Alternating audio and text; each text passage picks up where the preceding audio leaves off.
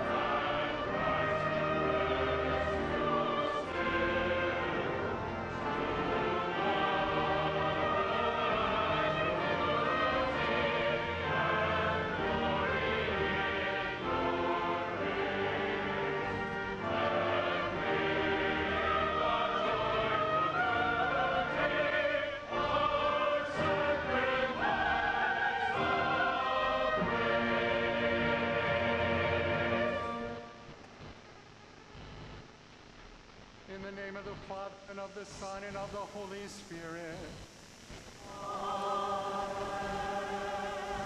Peace be with you.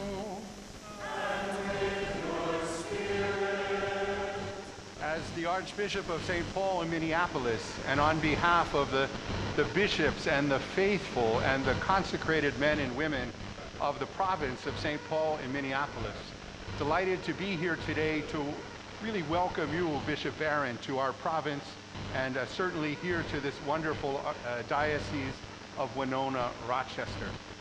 We as bishops have been here on many occasions to celebrate, and we've always appreciated so greatly the hospitality that's been offered by our brother Bishop Quinn.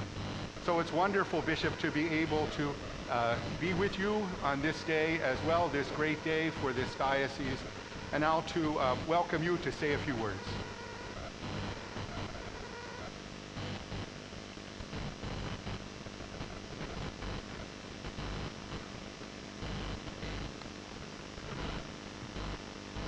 This is my special honor and joy to be able to welcome Archbishop Christophe Pierre. This is his second pastoral visit to our diocese here of Winona, Rochester. A few years ago, Archbishop came and he erected St. John Church as our co-cathedral. And we rejoice and so, what a joy this is for us to welcome him again. But also, I want to thank him for all.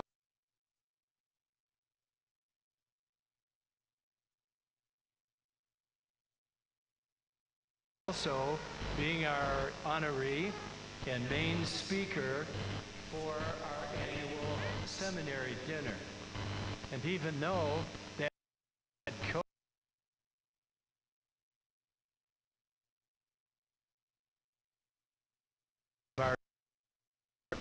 And so it's with great joy that as soon to be Bishop Emeritus, that I am able to welcome our Apostolic Nuncio, who is the personal representative of our Holy Father.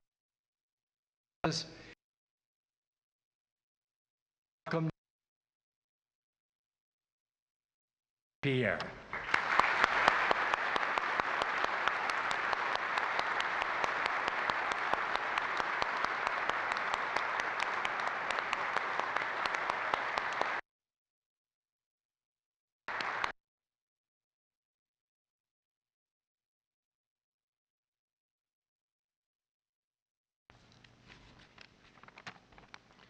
Thank you, Bishop Emeritus, soon to be. Not yet.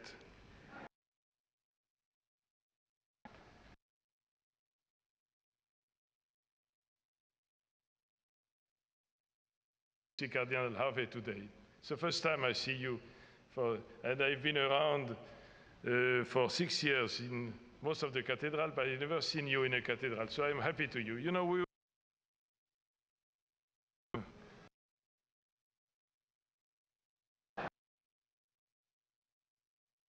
Cardinal Cupich. Your Excellencies, Archbishop Gomez, Chairman of the Bishops' Conference, Archbishop Lucas, Archbishop Hebda,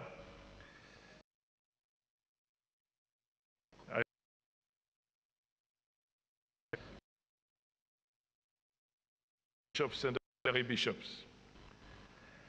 As we come together today in this co-cathedral of St. John the Evangelist, we must give thanks to Bishop Quinn, who first in 2000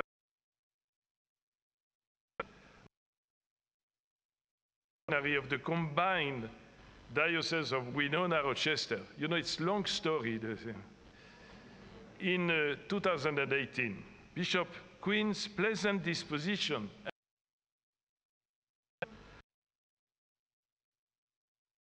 served spirit to the people he has served throughout this ministry here. We thank you. Thank you.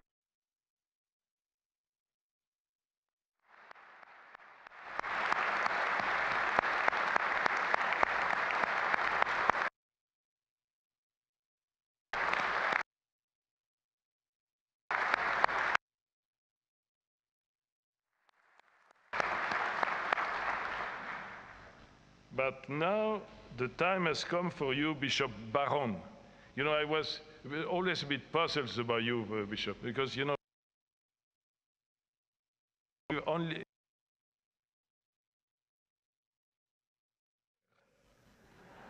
I don't know why they added another one, but anyway. So you, now it has time for you to leave the good people of the sunny Santa Barbara and don't when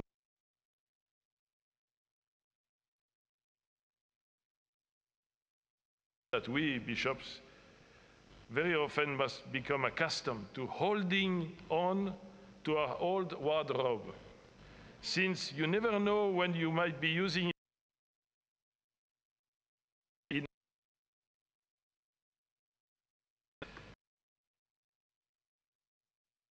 give you an uplifting spirit and you have endeared yourselves to countless numbers of people who thirst and hunger to satisfy themselves with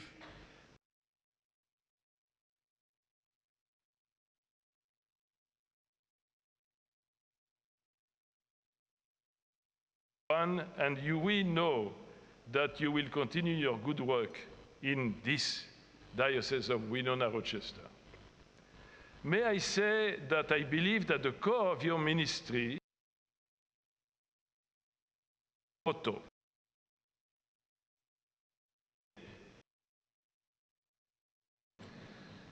For these are the reported words about one of your great mentors, Thomas Aquinas. We know that the Dominican tradition has told us said that in return for his writings about him, it was like a kind of, kind of business-like mentality, you know. The clear response, Lord, nothing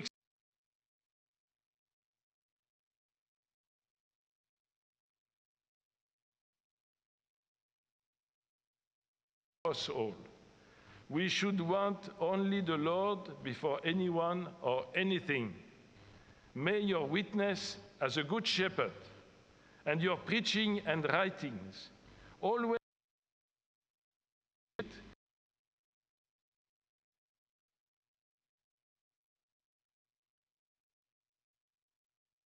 and missionary discipleship continue to bear great fruit. And may the people of God always find much joy and consolation through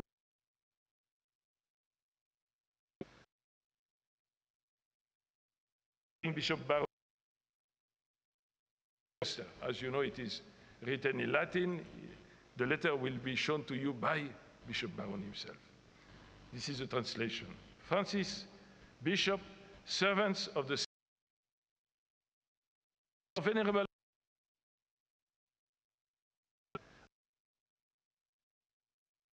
Triana in Mauritania and auxiliary of the Archdiocese of the Los Angeles in California. Appointed Bishop of the Diocese of Winona Rochester, greetings and apostolic blessings.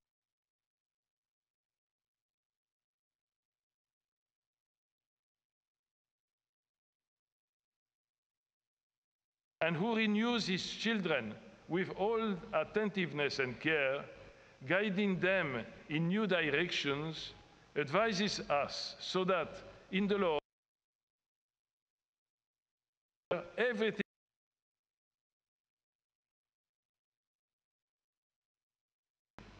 Accordingly, considering at this time the spiritual needs of the flock of Winona Rochester, which, owing to the resignation of our venerable brother, John.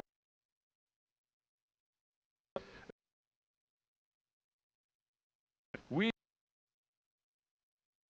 brother, who, in the exercise of your responsibility of, as auxiliary of the community of Los Angeles, are, in our judgment, endowed with both the spiritual and their use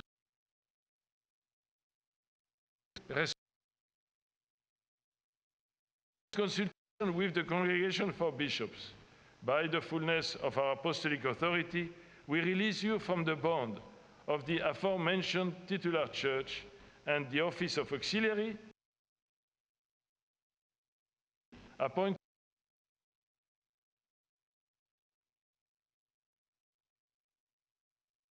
and imposing the relative obligations which are connected to this mandate.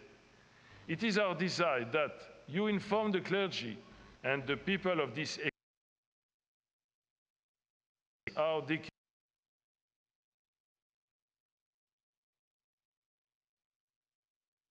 as a father to be loved, a teacher to be heeded, and a guardian to be supported. You heard that. Finally, venerable brother, the Lord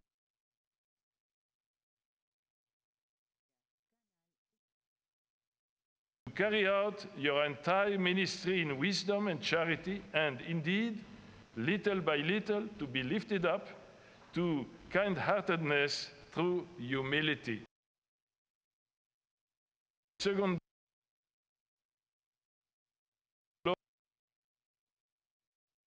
our pontificate, and it is signed Pope Francis.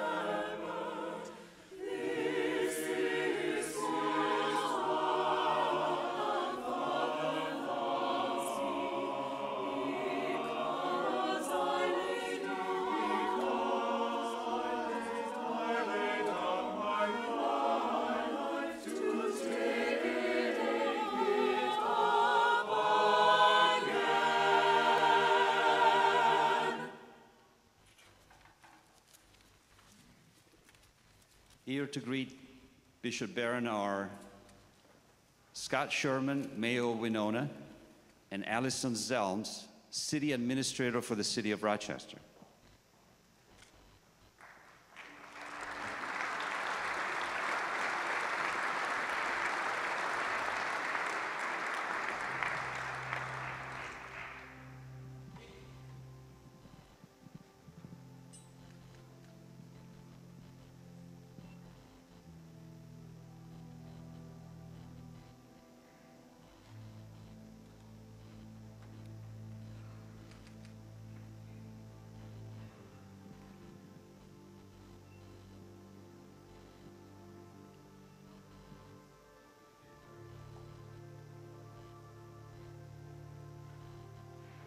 Sister Tierney Truman, President of Rochester Sisters of St. Francis, Sister Mary Andrea of the Religious Sisters of Mary, and Brother Frank Carr of the Christian Brothers, representing the many religious brothers and sisters of our diocese.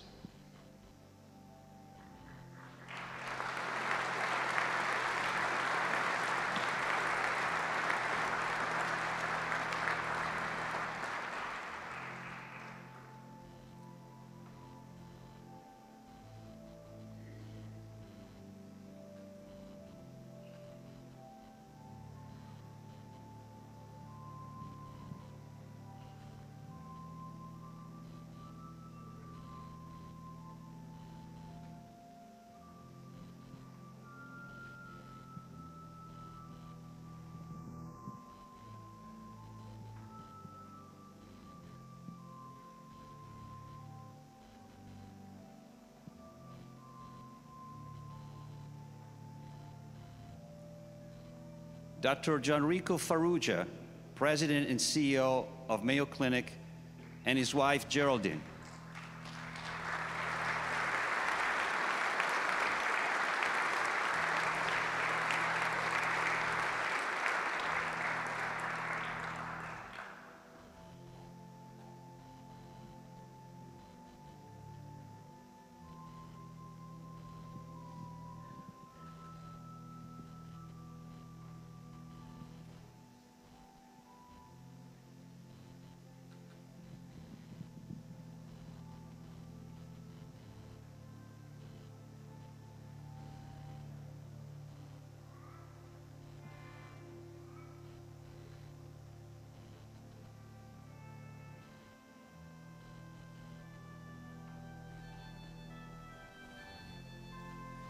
The Dilma and Rosalia Velasquez family, originally from Guatemala, now living in Worthington, representing the Hispanic community.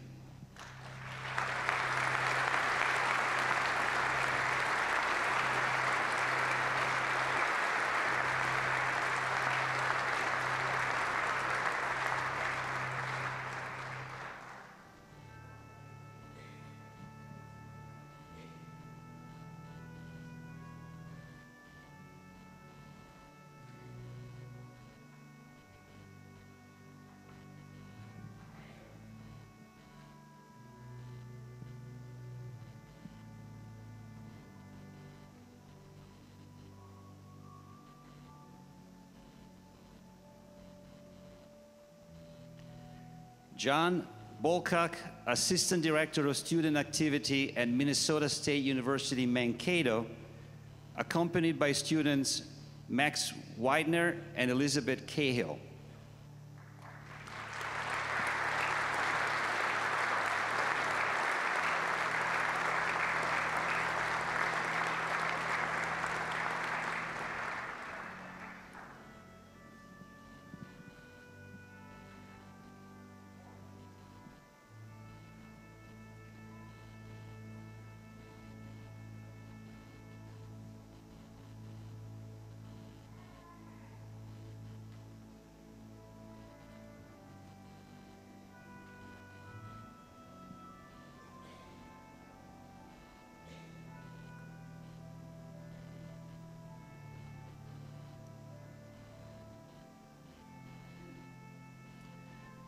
Dr. Ravinder Singh and Mrs. Heidi Rihal, members of the Sikh community, and Rabbi Michelle Werner of the B'nai Israel Synagogue.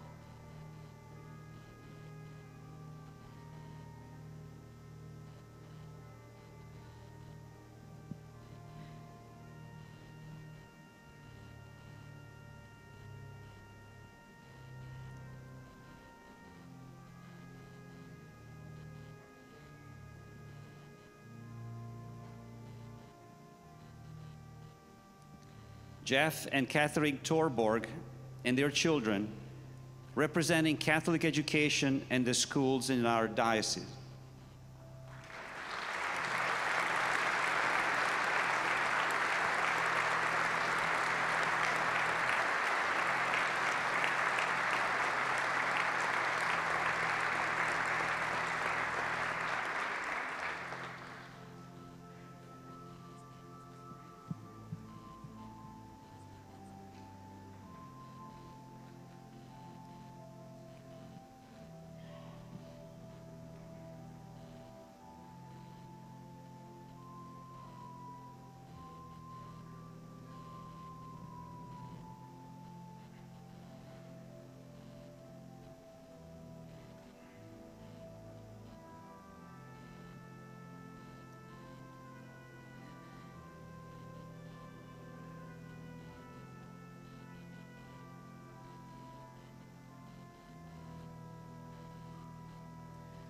Reverend Norman Wall of Bethel Lutheran Church, and Reverend Elizabeth Larson, Director of Spiritual Care at Mayo Clinic, representing our broad ecumenical community.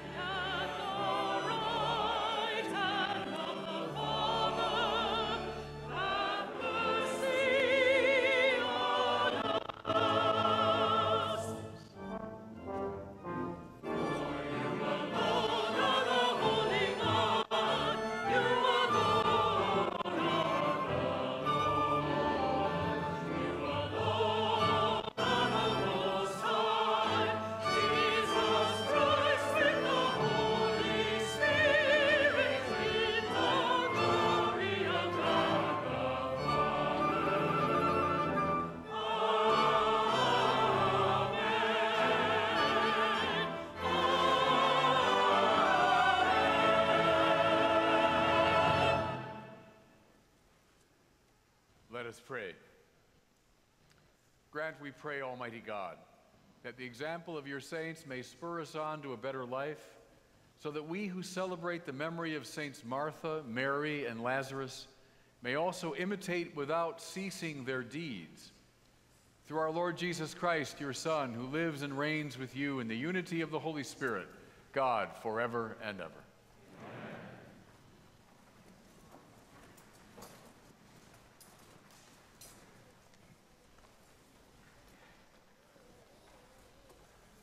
Reading from the book of the prophet Jeremiah.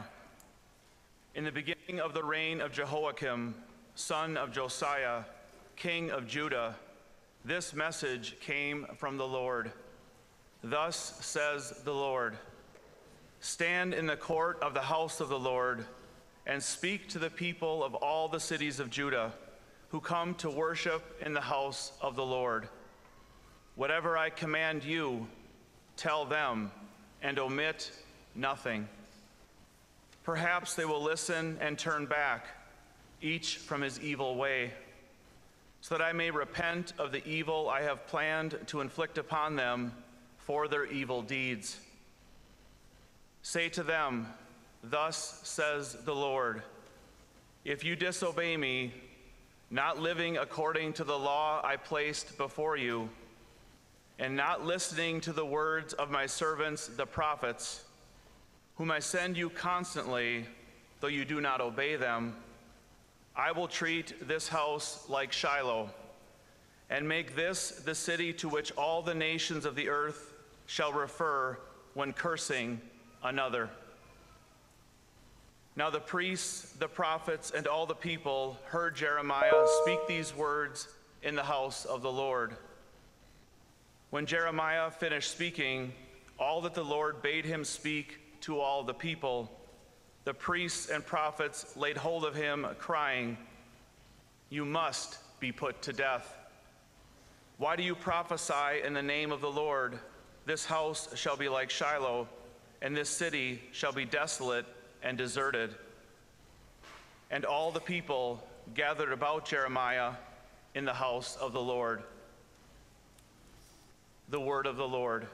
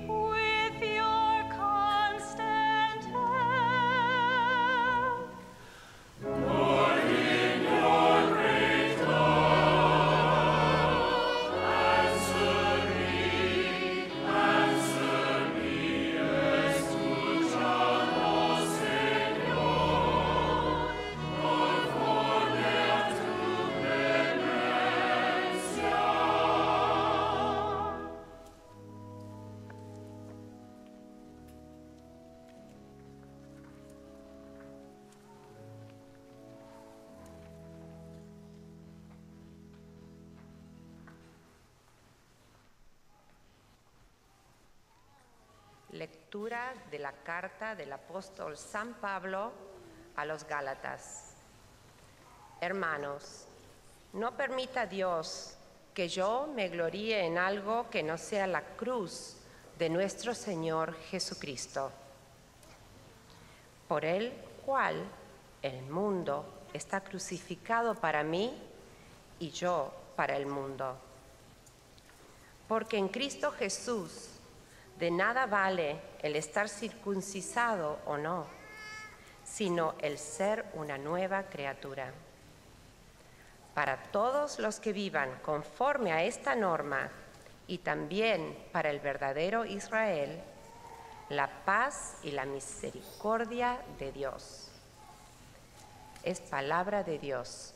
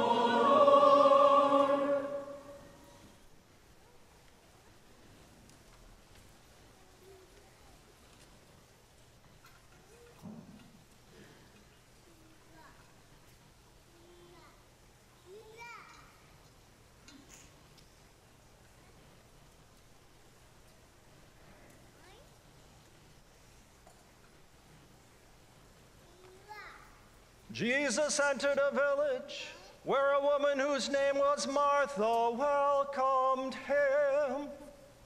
She had a sister named Mary who sat behind the, beside the Lord at his feet, listening to him speak.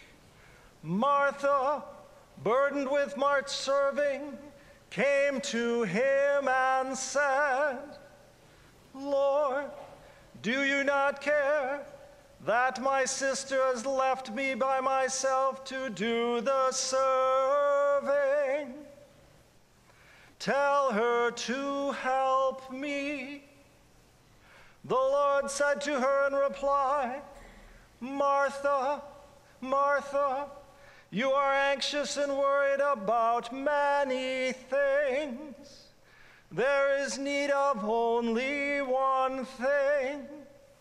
Mary has chosen the better part, and it will not be taken from her. The Gospel of the Lord. Praise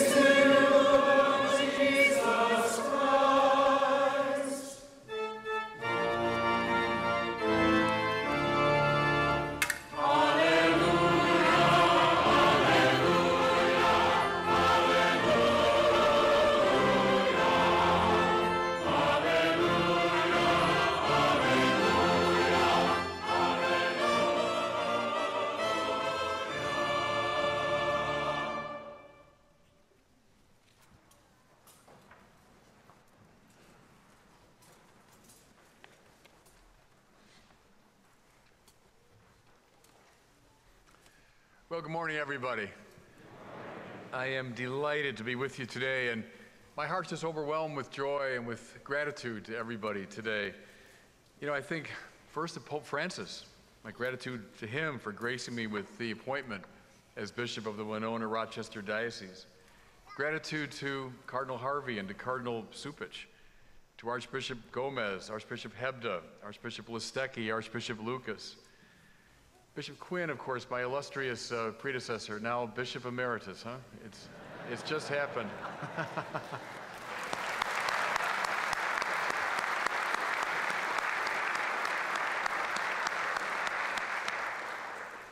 I'm grateful to all my brother bishops and priests who've joined me today. And can I just uh, highlight, it won't by name, but there are three bishops here whom I taught in the seminary. Do you want to know the definition of feeling old? That's it. Grateful too, of course, to my family and friends, all those who have inspired me and shaped me and supported me over the years. Gratitude to all those who've come from near and from far, from Chicago and Santa Barbara and Cardinal Harvey from Rome to be here today. And I'm just delighted that this installation falls on the feast of Martha, Mary, and Lazarus, declared as such by Pope Francis just um, last year. Remember, it used to be just the feast of St. Martha. But how wonderful that all three of the siblings, dear friends of Jesus, are now included. In the Gospels, we hear a good deal about the crowds of people who followed the Lord, about the 72 whom he sent, about those whom he healed and taught, indeed, a lot about the 12. But we don't hear much about his personal friends, with the exception of Martha, Mary, and Lazarus. But see, everybody, the whole point of the Christian life is to become a friend of Jesus. At the Last Supper, the Lord told his apostles, I no longer call you servants, but friends. How extraordinary that statement is. Of course, we relate to him as penitent to Lord, as disciple to master, but at the culmination of the spiritual life, we relate to him as a friend. St. Bernard, Catherine of Siena too, expressed this ascent symbolically as moving from the kiss of the feet, that's the penitent, the kiss of the hand, that's the disciple, to the kiss of the mouth, the kiss of friendship. And since Jesus is divine, it means the ordinary goal of the Christian life is to become God's friend. Well, it seems to me the task that's been entrusted to me today by the Holy Father is to facilitate the process by which the people of this diocese become ever more deeply friends of Jesus. Whatever teaching and sanctifying and governing I do here is subordinated to that great end, intensifying your friendship with the Lord. And we can see what this looks like concretely by examining our three saints for today. First, Mary, who sits attentively at the feet of Jesus, listening to his word. She represents the path that spiritual teachers call finding the center. She knows that Jesus stands at the absolute pivot of her life, her concerns, her activities. She's rooted, she's grounded. Everything else in her life revolves around her relationship with Christ. She's like the central medallion in a rose window, the still point around which the entire beautiful design is organized. Now, the first thing we learn about St. Martha is that she doesn't quite get this principle. While Mary listens attentively to Jesus, Martha's about all the details of hospitality, so she complains Tell her to help me. Just a hint, everybody you know all is not well with your spiritual life when you find yourself telling God what to do. But notice, please, how Jesus corrects her. He does not upbraid her for being busy with hospitality. Rather, he says, Martha, Martha, you are anxious and upset about many things. Mary, he explains, is chosen, as the lovely Latin version of this has it, the unum necessarium, the one thing necessary. Mary's found the center. Martha, at this point, is still divided.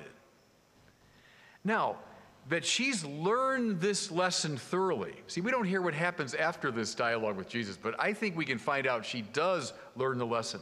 It's revealed in the account of the raising of Lazarus in the Gospel of John. There, Martha utters a confession of faith that rivals that of Peter in the Synoptic Gospels. Jesus refers to himself as the resurrection and the life, and he asks Martha whether she believes this. And she says, Yes, Lord, I believe that you are the Messiah, the Son of God, the one coming into the world. Magnificent confession of faith.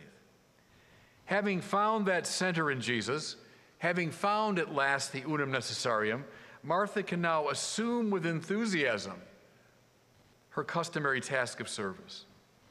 As such, she represents another key dimension of friendship with the Lord, loving and caring for those whom Jesus loves. As for our third saint, we never hear a word out of the mouth of Lazarus in the Gospels. His name, however, is eloquent. Eleazar, so Lazarus being the Latinized version of this. Eleazar has the sense of the one whom God has helped. And the great truth proclaimed, of course, is that Jesus has helped him in the most dramatic way possible, raising him from the dead. And because of this, we are told, and this is the key, I think, because of this, many came to believe in Jesus. Lazarus represents, therefore, a third great dimension of friendship with Jesus, namely evangelization. Once you've found that friendship, once you've been healed, you become a source of friendship and healing for others. The most effective evangelists are those whom God has helped who've been brought back to life by Jesus. Lazarus, come out. And the dead man came out. Untie him, said Jesus, and let him go free. As anyone in this room who's ever followed my writings and speaking knows, I am all in favor of knowing the faith, being able to articulate it well intellectually. But those whom Jesus has liberated and untied, will most powerfully convey the truth of Jesus to others. One of my favorite definitions of evangelization applies here. Quote, one starving person telling another starving person where to find bread. There's a delicious legend, I'm sure the nuncio knows it, that if not true, should be, as the Italians say. According to this story, Martha, Mary, and Lazarus, along with Joseph of Arimathea, were sent out by sea by enemies of the faith, made to drift on the Mediterranean with no sails or oars or supplies. They came to rest finally on the southern shore of present day France. Lazarus, the legend goes on, became a powerful evangelist and the first bishop of Marseille, in whose cathedral his skull is venerated to this day. Again, if not true, it should be true. The spiritual point remains the one whom Jesus called back to life evangelizes best. Now, with those three saints in mind, Pope Benedict said something that's always struck me as profoundly illuminating. The church, he said, does three basic things it worships God, it serves the poor, and it evangelizes. Those three things. In a word, it does the work of Mary, of Martha, and of Lazarus.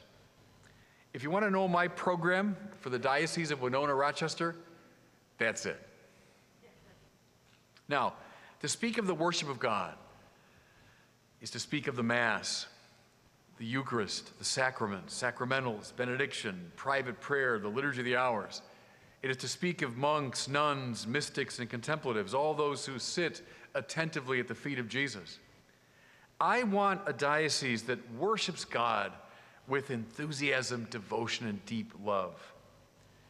In terms of the form of that worship, the Pope's recent letter on the liturgy reflects very much my own mind, neither an experimental progressivism nor a repudiation of the reform of the liturgy called for by Vatican II.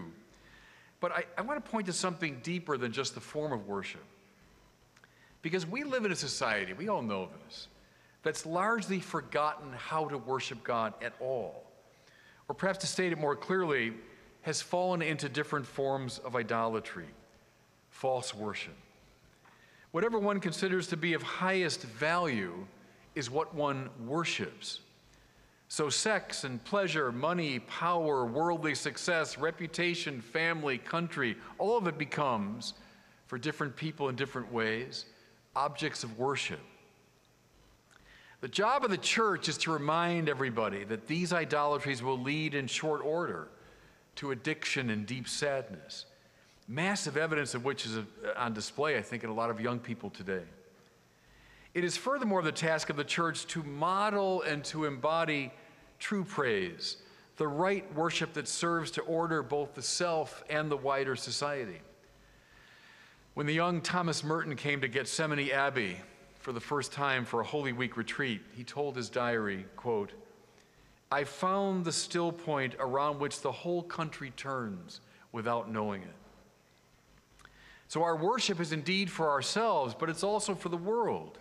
Just as the Jerusalem temple was meant to be a magnet to draw all the nations to the praise of the true God, so our worship should prove compelling to a society that's fallen into false worship. And now, in relation to this theme, can I be very specific? And can I ask all the seminarians are here, please, to stand? Here's some of the sem. There they are.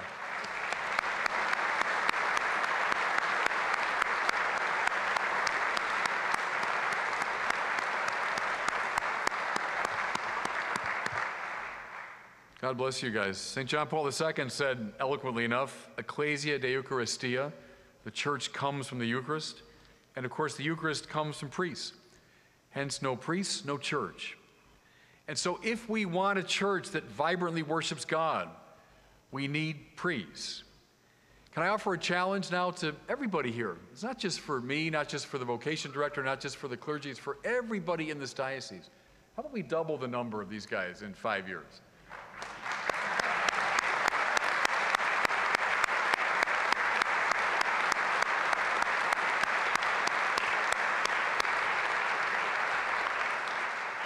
No pressure on the vocation director. Where are you? I can see you. there you are. God bless you. You guys can be seated. No pressure, no pressure. Just double it in five years. That's all I want. so the church worships God. It also, Benedict said, cares for the poor. It performs the work of Martha. Now, it carries out this task in numberless ways caring for those who are poor economically, emotionally, intellectually, spiritually we think of Catholic charities, prison ministries, Catholic hospitals, soup kitchens, those who visit the homebound. We recall Pope Francis' marvelous image of the church as a field hospital where the wounded are treated, where those on the margins, both economic and existential, as he puts it, are given aid. So I want our church here to be a place of refuge and inn. And how can I, as I stand here in the, literally in the shadow of the, of the Mayo Clinic, not see this connection, that the church be a source of healing, as this great city is a source of healing for the whole world. One of my heroes, my Chicago colleagues know this, is Monsignor Reynold Hillenbrand, who was one of my predecessors as rector of Mundelein Seminary back in the 1940s. Inspired by the leaders of the liturgical movement, Hillenbrand saw the intimate connection between what we do at Mass and the commitment to improve the lot of the poor, the link, to put it simply, between liturgy and justice. The reconciliation with God that we find through the Eucharist should lead to a reconciliation with our neighbors and, yes, even with our enemies. And if I can make this even more concrete, can I suggest that we learn and practice the corporal and spiritual works of mercy? Another of my heroes is Dorothy Day, the co founder of the Catholic Worker Movement. Impatient with the overly abstract language about peace and justice that was heard so often, Dorothy Day said, quote, Everything a baptized Catholic does every day should be directly or indirectly related to the corporal and spiritual works of mercy. Can I suggest, uh, when I first read that line, it changed my life. That's one of those lines that gets down into your heart and soul and changes you. Everything we do every day should be directly or indirectly related to the corporal and spiritual works of mercy. The corporal works of feeding the hungry, giving drink to the thirsty, clothing the naked, visiting the imprisoned, sheltering the homeless, caring for the sick, burying the dead. The spiritual works, admonishing sinners, instructing the ignorant. I used to tell my students at Mundelein, that's what I do. I instruct the ignorant. That's even these three bishops here that I taught counseling the doubtful, comforting the sorrowful, bearing wrongs patiently, forgiving injuries, praying for the living and the dead. I'd love our parishes here to be places where the corporal and spiritual works of mercy are known and vibrantly practiced. Now, I know those who know me, um, you know about me is that I'm a great fan of Bob Dylan, and here I'm in Bob Dylan's home state of Minnesota. But I'm not going to quote Bob Dylan, although there's a Bob Dylan song that quotes St. Martha. Do you know that? Ring them bells, St. Martha, for the poor man's son. Ring them bells so the world will know that God is one. So Dylan did quote our, our saint for today. But I want to draw attention to uh, another musical hero of mine, Johnny Cash. He was once asked why he performed so often in prisons. And he said, well, first, prisoners are the best audience. But then, second, he said, because I'm a Christian. That's a darn good answer. Jesus said, visit those in prison. Johnny Cash also resolved, after he became famous, and when he was always the most prominent person in the room, that he would always purposely seek out the person who looked the most lost or lonely or isolated. And on purpose, he'd make a beeline for him or her. I think that's a great Christian instinct and a great instinct for our parishes. Do we know who the neediest, loneliest, hungriest, and thirstiest people in our community are? Are we caring for them directly? Personally, getting our hands dirty in the process. Thirdly, the church evangelizes. It does the work of Lazarus. Under this rubric, we include teaching and preaching, the maintenance of our schools and universities, the creative use of the media, engaging the questions of the culture, etc. As many of you probably know, a good deal of my ministry as both priest and bishop is centered around evangelization. Why do I feel so strongly about this? Well, first, because the Lord told us to do it. Go, therefore, and make disciples of all nations. But secondly, because the need is so great in our time.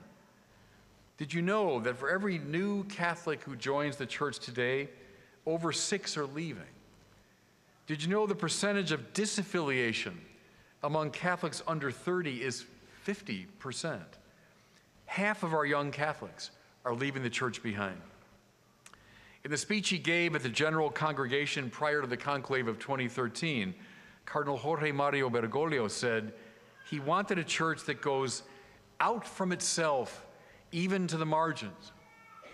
Once elected Pope, he told a group of priests that the oil of their ordination grows rancid unless it's allowed to flow to the ends of their garments and then out into the world.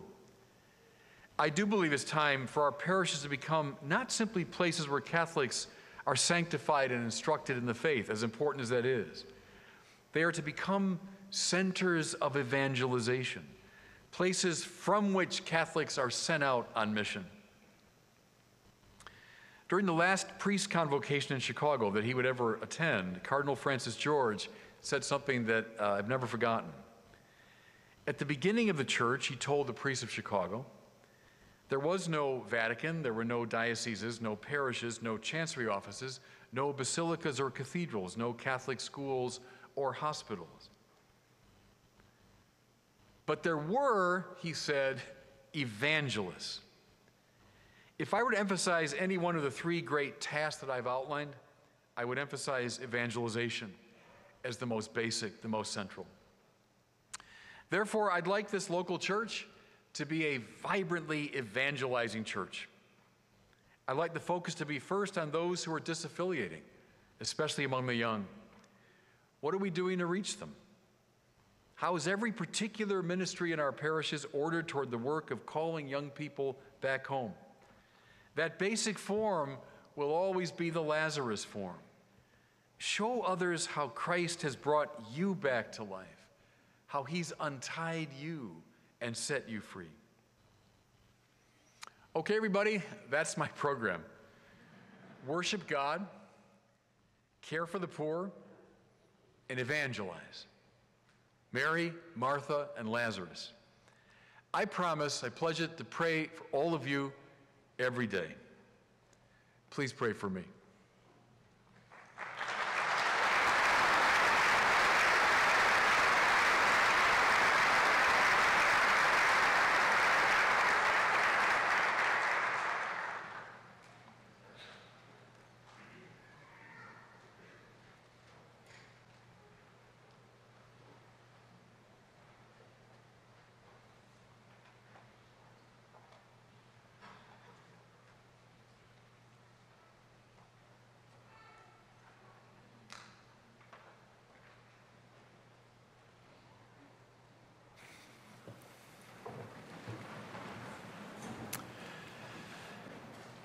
Established on the foundation of Jesus Christ and in communion with the church throughout the world, let us pray to God now for our own needs and for those of the entire people.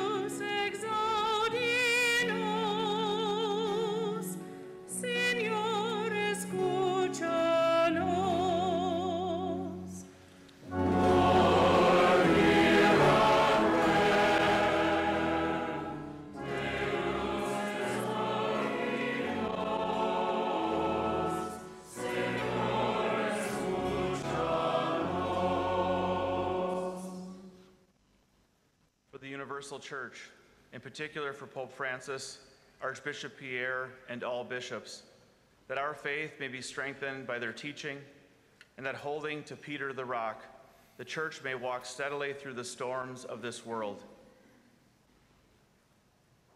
Let us pray to the Lord.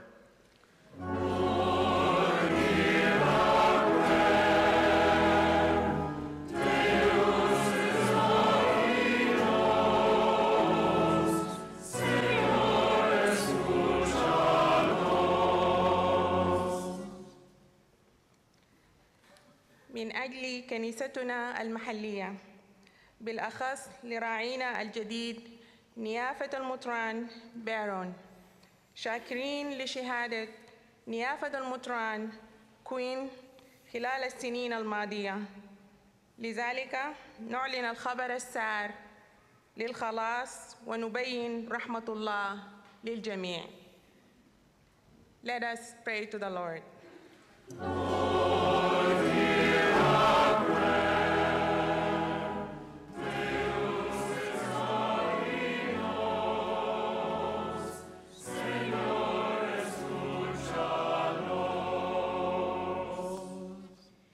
राष्ट्रीयों के नेताओं के लिए और विशेष रूप से हमारे नागरिक अधिकारियों और लोक सेवाओं के लिए, ताकि वे उस ज़िम्मेदारी को पह- पहचान सके जो भगवान उन्हें देता है और आम आछे के लिए काम करता है Let us pray to the Lord.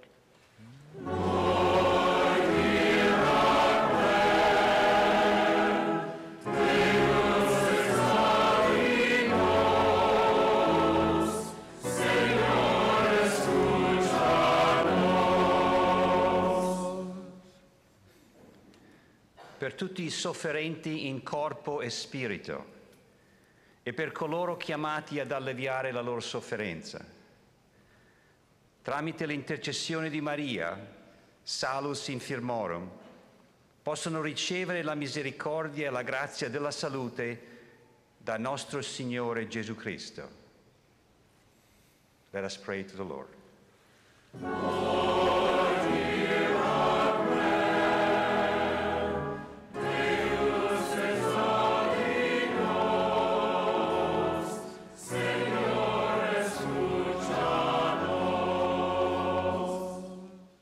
diócesis de Winona, Rochester, como, protagonista de la nueva evangelización y en comunión con nuestro obispo, seamos un lugar en el que todos seamos bienvenidos y nos volvamos testigos del poder transformador del Evangelio. Let us pray to the Lord.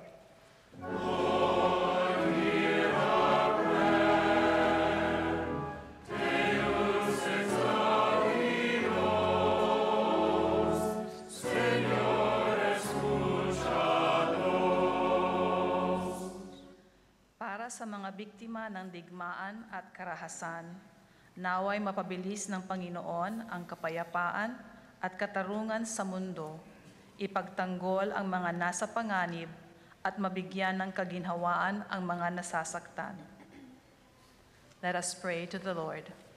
Tuwaombee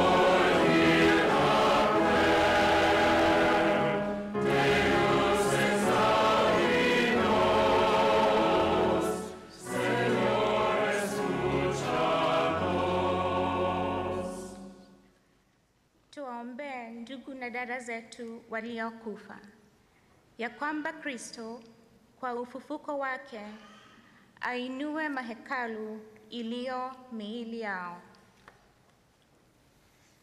Let us pray to the Lord. O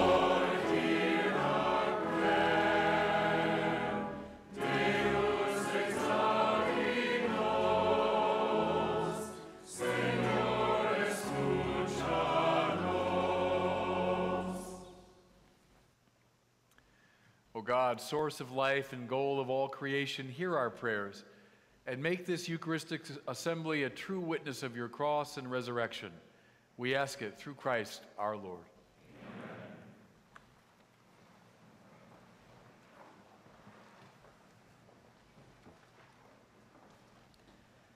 Please join in our song for the preparation of gifts, Bread of Life, found on page 25. Hearts.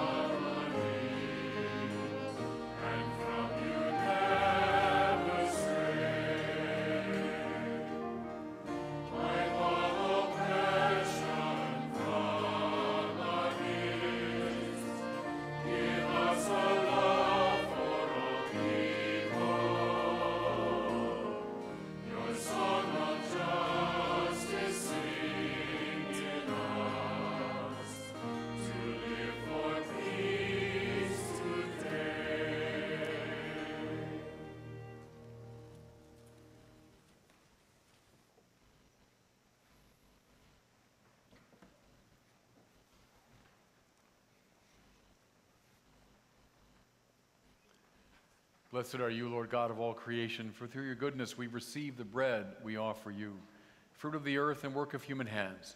It will become for us the bread of life.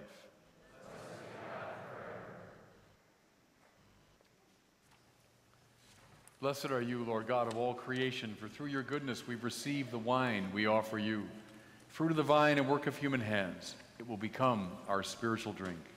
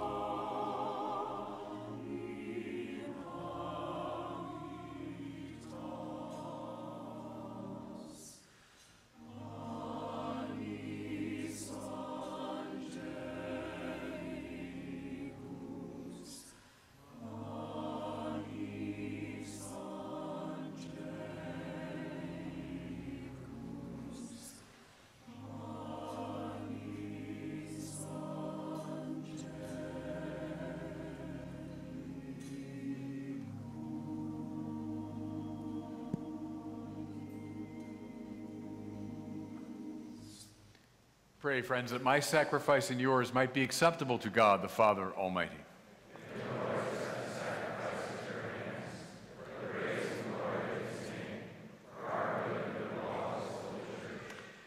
As we proclaim your wonders and your saints, O Lord, we humbly implore your majesty that as their homage of love was pleasing to you, so too our dutiful service may find favor in your sight. Through Christ our Lord.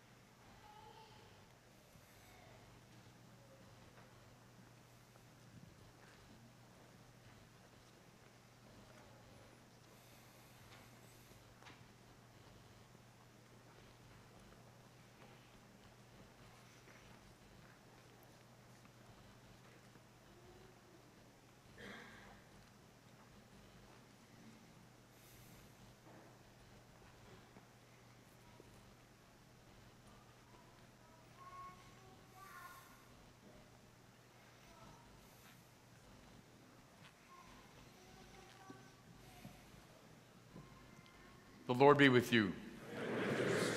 Lift up your hearts. Let us give thanks to the Lord our God. It is truly right and just, our duty and our salvation, always and everywhere to give you thanks. Lord, Holy Father, Almighty and eternal God, through Christ our Lord. For in the marvelous confession of your saints, you make your church fruitful with strength ever new, and offer us sure signs of your love. And that your saving mysteries may be fulfilled, their great example lends us courage. Their fervent prayers sustain us in all that we do. And so, Lord, with all the angels and saints, we too give you thanks. As an exultation we acclaim.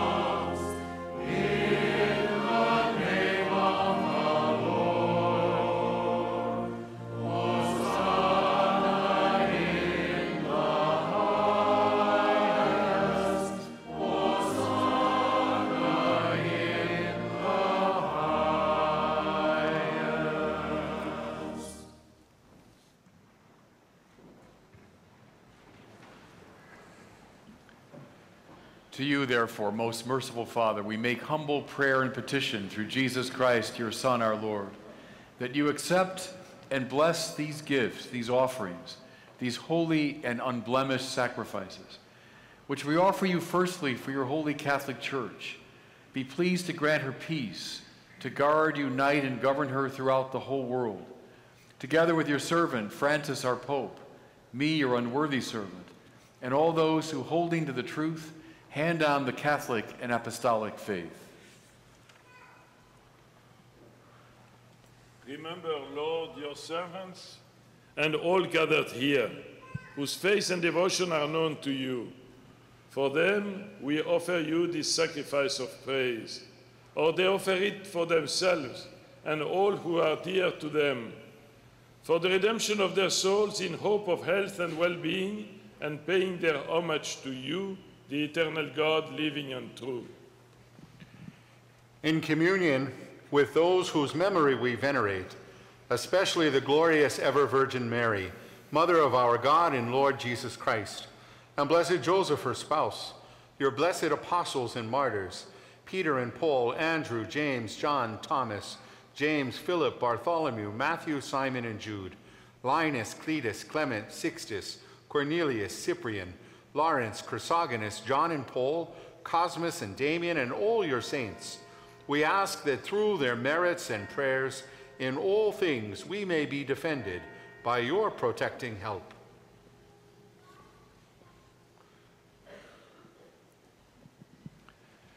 Therefore, Lord, we pray, graciously accept this oblation of our service, that of your whole family. Order our days in your peace and command that we be delivered from eternal damnation and counted among the flock of those you have chosen.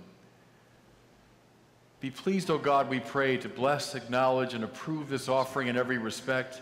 Make it spiritual and acceptable, so that it may become for us the body and blood of your most beloved Son, our Lord Jesus Christ. On the day before he was to suffer, he took bread in his holy and venerable hands.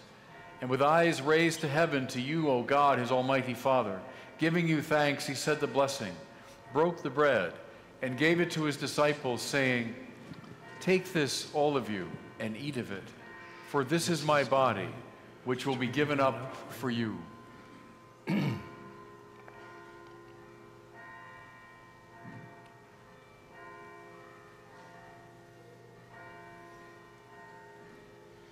In a similar way, when supper was ended, he took this precious chalice in his holy and venerable hands.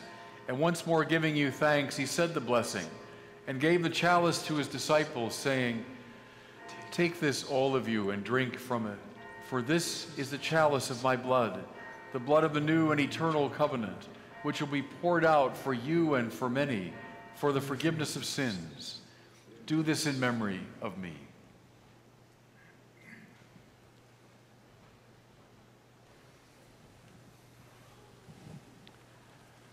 The mystery of faith.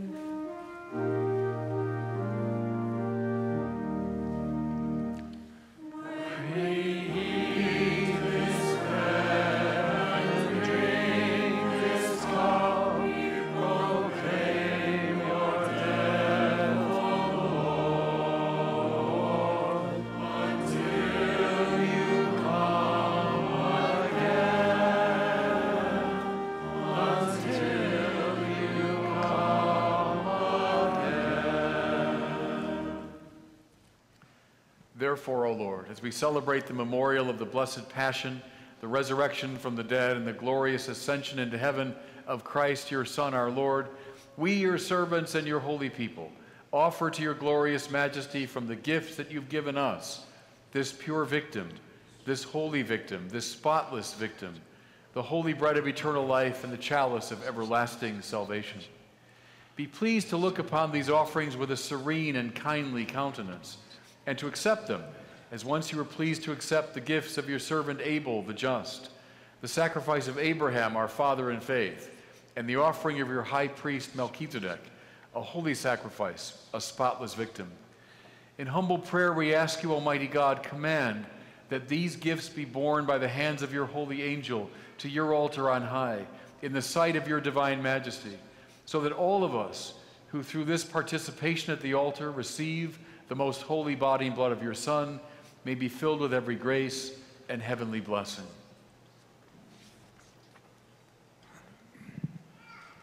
Remember also, Lord, your servants who have gone before us with the sign of faith and rest in the sleep of peace. Grant them, O Lord, we pray, and all who sleep in Christ, a place of refreshment, light, and peace. To us also, your servants, who, though sinners, hope in abundant mercies, graciously grant some share in fellowship with your holy apostles and martyrs, with John the Baptist, Stephen, Matthias, Barnabas, Ignatius, Alexander, Marcellinus, Peter, Felicity, Perpetua, Agatha, Lucy, Agnes, Cecilia, Anastasia, and all your saints. Admit us, we beseech you, into their company, not weighing our merits, but granting us your pardon through Christ our Lord. Through whom you continue to make all these good things, O Lord, you sanctify them, fill them with life, bless them, and bestow them upon us. Through him and with him and in him, O God, Almighty Father, in the unity of the Holy Spirit, all glory and honor is yours forever and ever.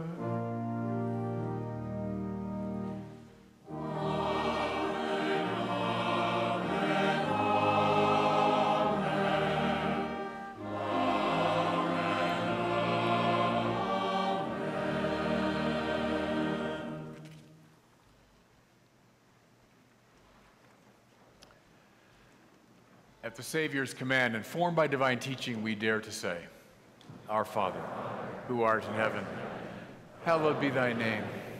Thy kingdom come, thy will be done, on earth as it is in heaven. Give us this day our daily bread, and forgive us our trespasses, as we forgive those who trespass against us. And lead us not into temptation. Deliver us from evil. Deliver us, Lord, we pray, from every evil. Graciously grant peace in our days that by the help of your mercy we may be always free from sin and safe from all distress, as we await the blessed hope and the coming of our Savior, Jesus Christ. Lord Jesus Christ, who said to your apostles, Peace I leave you, my peace I give you, look not on our sins, but on the faith of your church and graciously grant her peace and unity in accordance with your will, who live and reign forever and ever. The peace of the Lord be with you always. Let us offer each other the sign of peace. Bernie, God bless you. Peace be with you. Thanks for being here today. Peace, Archbishop. God bless you. Thank you. Thank you. Peace, Pat. Thank you very much. Peace. Thanks for your help today. Peace. I know. Hey, John. God bless you. Peace be with you. Hey, Jerry. God bless you. Congratulations. Thank you. Hey, George. God bless you. Peace be with you. Jose, hasta Cristo. Thank you. God bless you all. Peace.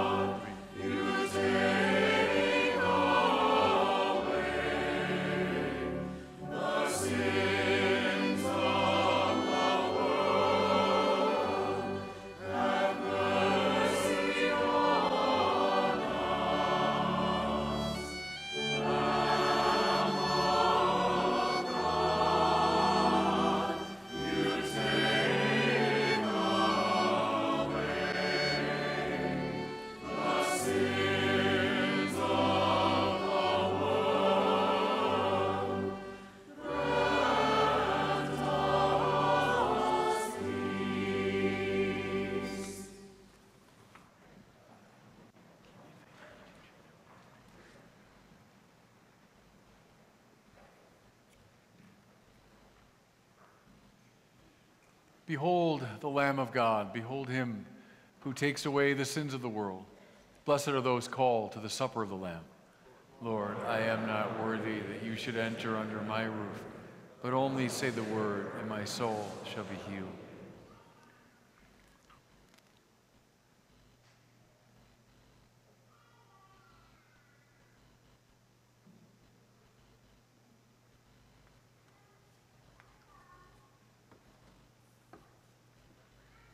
Please join in our communion hymn found at the bottom of page 28, Pan de Vida. Page 28.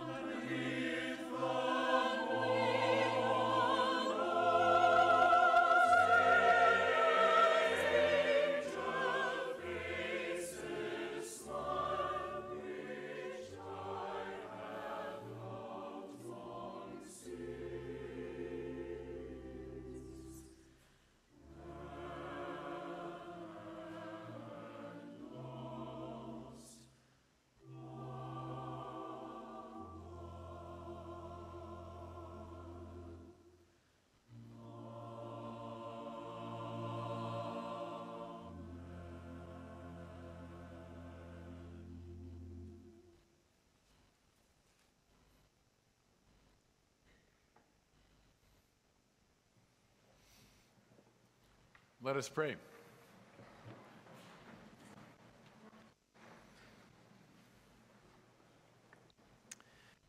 Of the body and blood of your only begotten Son, Lord, turn us away from the cares of this fallen world, so that following the example of Saints Martha, Mary, and Lazarus, we may grow in sincere love for you on earth and rejoice to behold you for eternity in heaven. Through Christ our Lord. We invite you uh, to the International Event Center. I think you're really aware of that. Moving out these doors, uh, to your right will be the buses, and they will be moving back and forth, and several of them there very much available. For the bishops, um, also there's a bus. If you're going to the reception, I know some of you need to leave immediately. There is a bus uh, near the rectory. And one more little thing, Bishop Barron. There is, a, you mentioned the Mayo Medical community, and it's such a significant part of our city. And the Franciscan Sisters of Rochester, you know, began with this relationship with a handshake. Sister Lauren is here, and uh, she began working at St. Mary's Hospital before you were born. Yeah. She works there 67 years, and this week she'll be 101. Uh,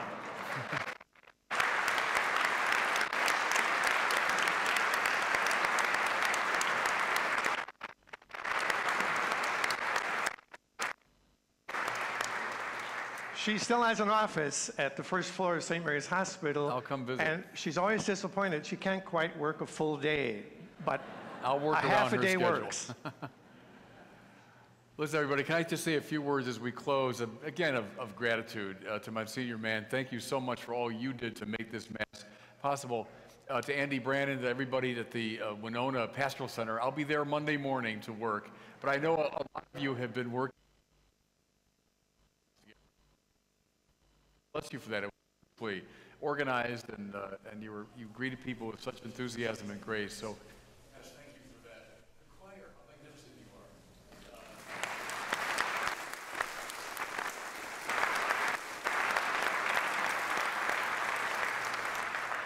God bless you for your hard work in preparing for today. And you know, it's always a little bit dangerous when you start mentioning names because you're going to forget someone. And someone I, I know I, I forgot that I should mention is my predecessor, uh, Archbishop Vlazny. Um, I'm the ninth bishop. You were what, the sixth? The sixth bishop. Well, I met Archbishop Vlazny many, many years ago. It was the summer of 1980. seminarian, and I was assigned to St. Aloysius Parish in Chicago. And uh, John, Father John Vlazny was there as pastor, and I, I mean this. There are spiritual and pastoral lessons you taught me that summer that I've never forgotten. So I'm very grateful to you as my predecessor and a spiritual mentor. God bless you.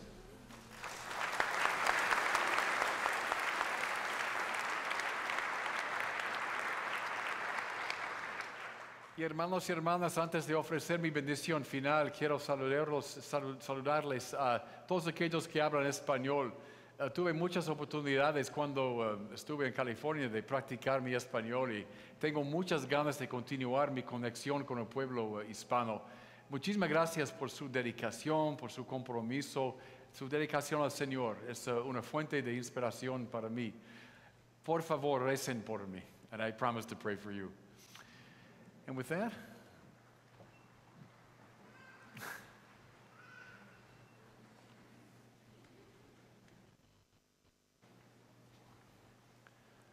the Lord be with you. Blessed be the name of the Lord. Our help is in the name of the Lord. And may the blessing of Almighty God, the Father, the Son, and the Holy Spirit come down upon all of you and remain with you forever and ever. Go in peace. Thanks be to God. Our song of sending can be found on page 32 of your booklet. Go make of all disciples.